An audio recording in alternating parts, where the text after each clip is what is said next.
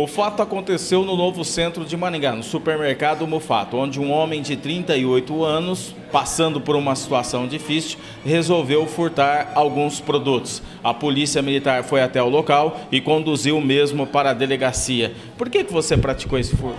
Foi um momento de, de fraqueza minha. Eu estou passando por dificuldades, mesmo como você disse. E Acabei desistindo até mesmo no interior da loja, não, não cheguei a sair com nada, abandonei a sacola lá no interior da loja.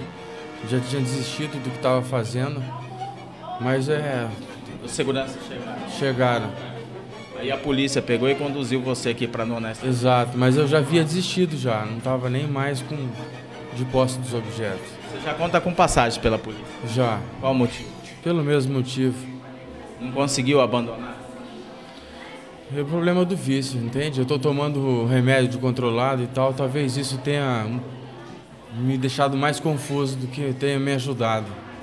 E você trabalha no momento ou está desempregado? Eu estava fazendo freelance só à noite, porque eu trabalhei o ano passado todo como chapeiro, de fazer em lanches, né? Ali na Avenida Cerro Azul.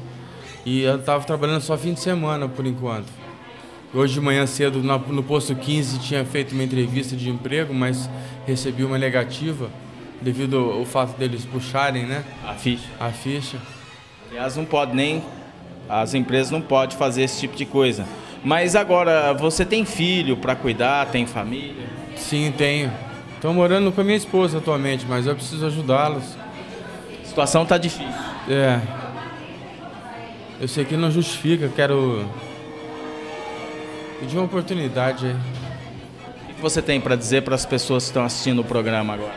Que eu sinto muito, principalmente para aqueles que me conhecem. Me perdoe a decepção.